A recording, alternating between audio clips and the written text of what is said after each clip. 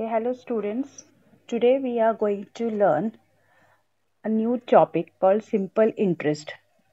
This topic is there in scholarship exams. So I am going to teach you a simple way of simple interest along with the formulas.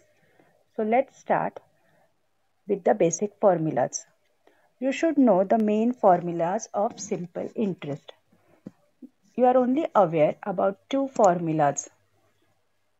That is, first is simple interest that is PNR upon 100.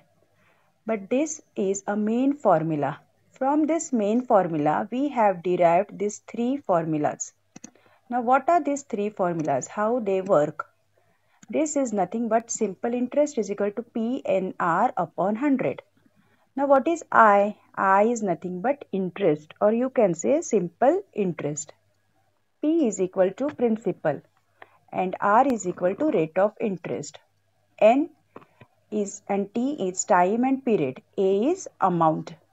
So what is this is a main formula we are going to derive from the main formula. P is equal to I into 100 upon NR. R is equal to I into 100 upon Pn and n is equal to i into 100 upon pr. Now, how to get about these formulas? Now, you know this p and r are the three elements which are required. So, if you want to find out p, you have to write nr. If you have to find out r, you have to write pn. And if you want to find out n, you have to write pr.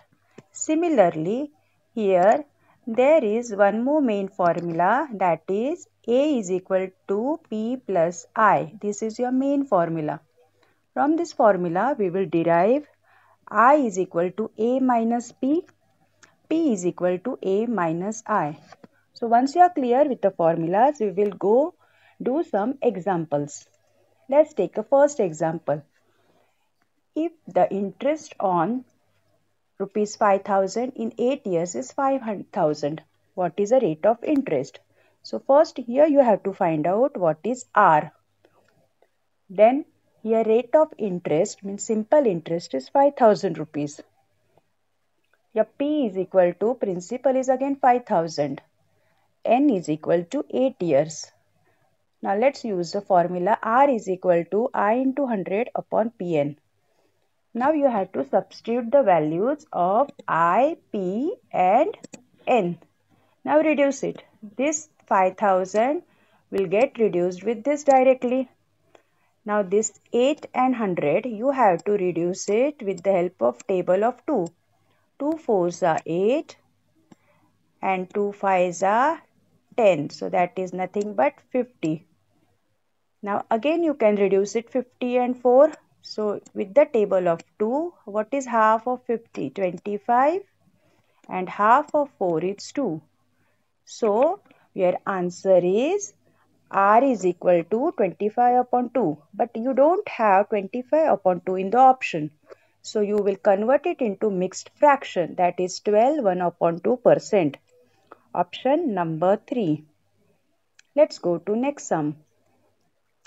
The principal at certain rate of interest doubles in 5 years by the simple interest. So now here we don't have any principal so we will consider it as 100 and then amount doubles. Doubles means the double of 100 is 200 now we have to find out i. I is nothing but a minus p. Amount minus principal is equal to 100 n they have given as 5 years so we have to find out R. Let's use the formula of R and substitute the values. Now you have to reduce it. So now let's reduce. This 100 will get cut with this 100. Now you have to reduce 5 ones are 5 and 5 20s are 100.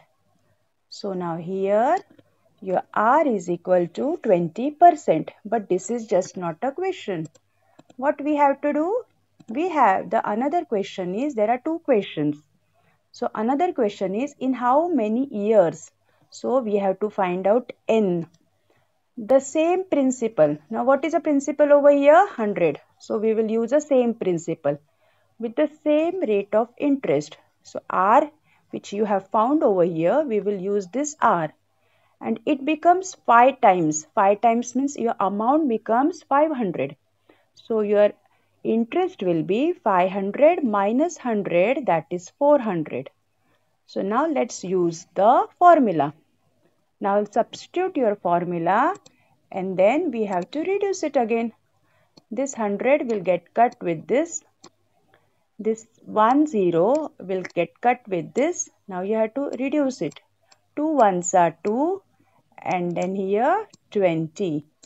So you, you will get your n means number of years is equal to 20 years. Option number 3. Let's continue with the next example. Now here the amount is given as 12,700. Principal is 10,000 and I therefore now amount and principal is there. We have to find out I with our formula amount minus principal is equal to 2700. N is equal to 3 years. So we have to find rate of interest. Use the formula of rate of interest substitute. Now we have to reduce it. So let's reduce the zeros first. One zero with this, another zero with this. Now there are two more zeros, 1, 2 and 1, 2. Now what remains over here? 27 upon 3. Now you have to reduce 3 ones are 3, 3 nines are 27. So your R is nothing but 9%. Option number 3. Now let's do next sum. Here rate of interest is 7.